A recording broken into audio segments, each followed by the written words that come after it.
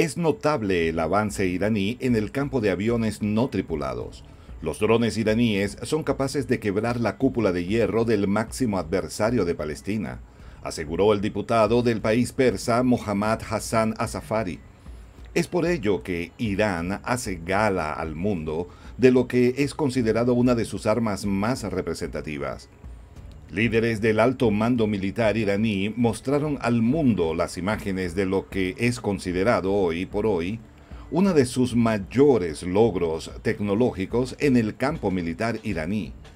El país persa se destaca como potencia en el campo de misiles en toda la región de Asia Occidental. Con su gran maniobra, su poder de fuego y su furtividad, los drones iraníes se convierten en una de las armas más temibles para los enemigos del país persa. Los detalles de esta historia los conocerás a continuación. Quédate con nosotros.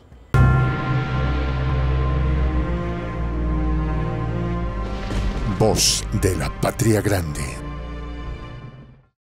Prensa Alternativa. Necesita guionistas de cine con experiencia.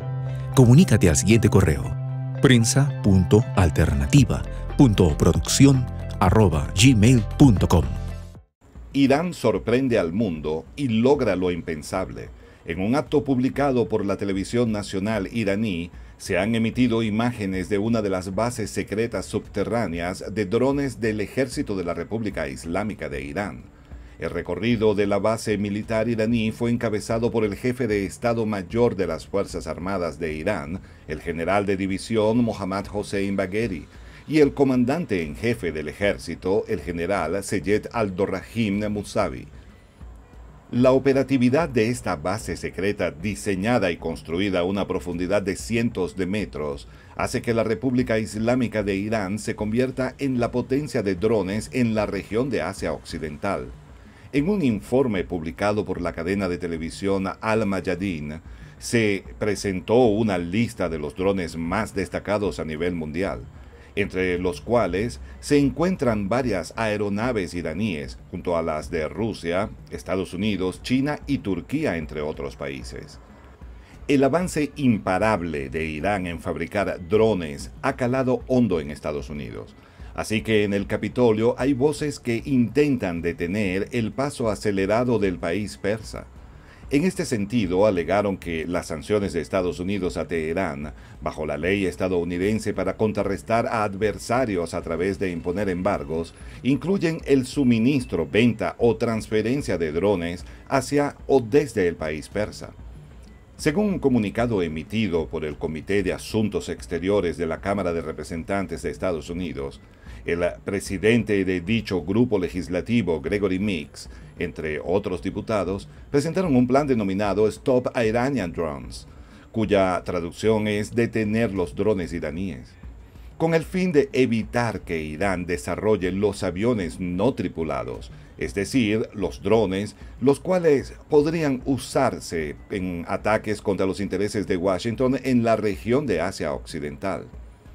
El general de división Seyed al-Dorrahim Musavi, quien acompañaba al jefe del Estado Mayor en el evento, ha dicho que el mayor logro de Irán es que no depende de ningún lado, y ahora las Fuerzas Armadas son capaces de fabricar todo lo que necesiten para defender las fronteras y llevar a cabo sus misiones. Musavi ha agregado que el ejército iraní ha mostrado solo parte del progreso y la actualización de los drones, para luego subrayar que la política del Estado Mayor de las Fuerzas Armadas es salvaguardar la independencia y el territorio del país, además de mantener la seguridad del pueblo iraní ante posibles amenazas.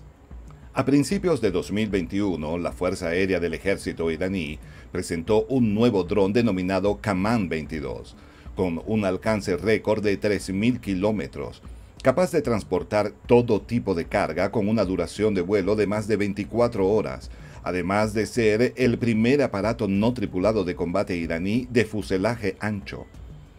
Asimismo, en ese mismo año, se presentó el dron Shahed 129, el cual tiene una autonomía de 1.700 kilómetros y cuenta con la capacidad para portar 8 misiles.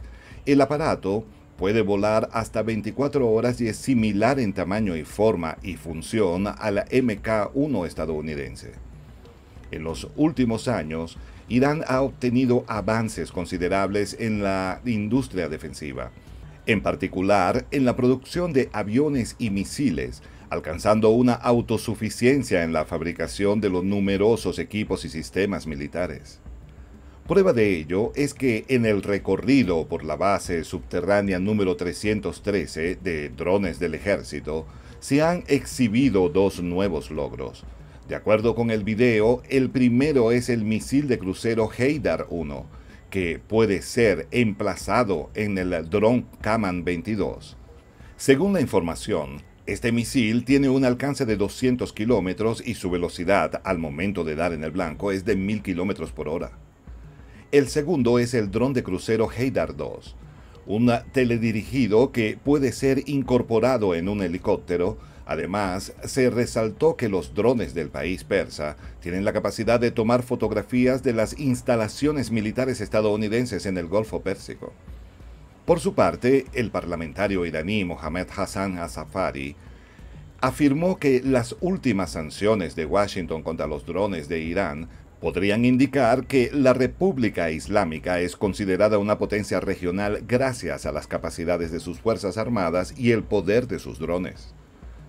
En alusión a las altas capacidades de los drones furtivos de fabricación iraní, el parlamentario persa destacó que los vehículos aéreos no tripulados iraníes incluso son capaces de evadir la cúpula de hierro del gobierno sionista. Al sancionar drones iraníes, Azafari aseveró que el gobierno de Estados Unidos está tratando de crear iranofobia en la región para que pueda obtener más concesiones de Irán en la mesa de conversaciones en Viena, algo que Irán no permitirá. Sin embargo, el parlamentario iraní manifestó que los países de la región son conscientes de que Irán no es una amenaza para la región y que la Casa Blanca es la principal causa de inestabilidad en la región. Por su parte, el general Kenneth McKenzie, jefe del Comando Central de Estados Unidos, advirtió que el uso generalizado por parte de Teherán de drones pequeños y medianos para misiones de vigilancia y ataques significa que por primera vez desde la guerra de Corea estarán operando sin una superioridad aérea completa. Al respecto, el comandante de la División Aeroespacial del Cuerpo de Guardianes de la Revolución Islámica de Irán, el general de brigada Amir Ali Ahijazadeh, elogió el poder defensivo y la seguridad del país persa, destacando que los drones iraníes se han convertido en una espina en el costado de los enemigos. Hoy en día somos la mayor potencia en el campo de misiles y drones en la región de Asia Occidental ha dicho el subcomandante de operaciones del Cuerpo de Guardianes de la Revolución Islámica de Irán, el general Abbas Niforushan.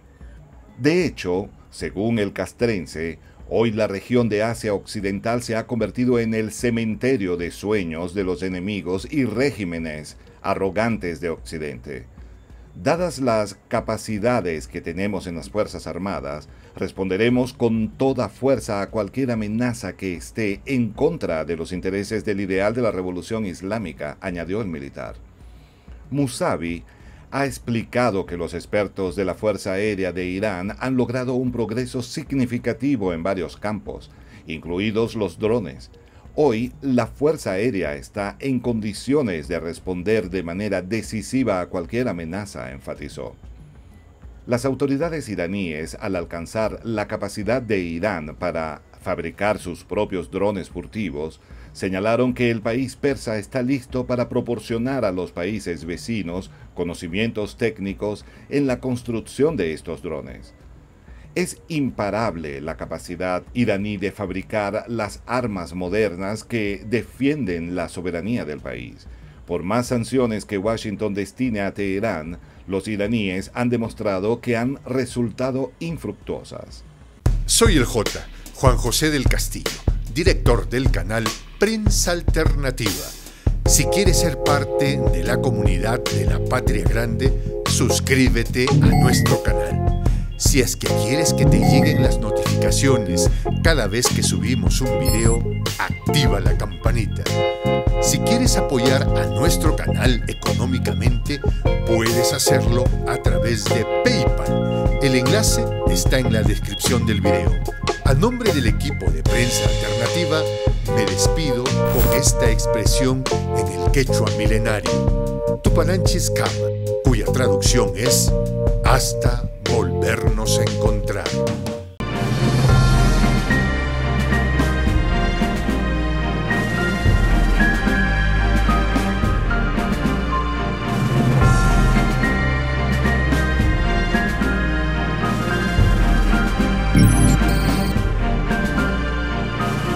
Voz de la Patria Grande.